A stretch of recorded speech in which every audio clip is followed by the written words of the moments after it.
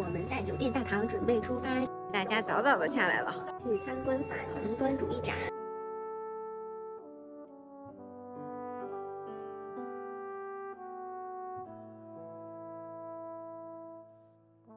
ウイグルで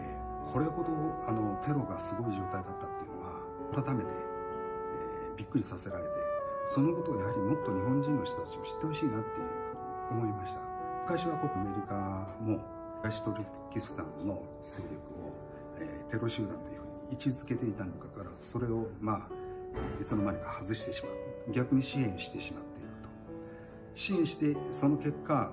どれほどのやっぱり犠牲者中国が出したのか。そういったことを真剣に考えてほしいな。本当にやれることを精一杯我慢しながら努力しながら多民族国家であるがゆえにお互い尊重するような姿勢で地道な努力をして問題解決を図ってきたにもかかわらずそういった情報がやはり世界に発信されてないっていうのが非常に残念でならなかったということです。あとはこれをもっと広く伝えていく方法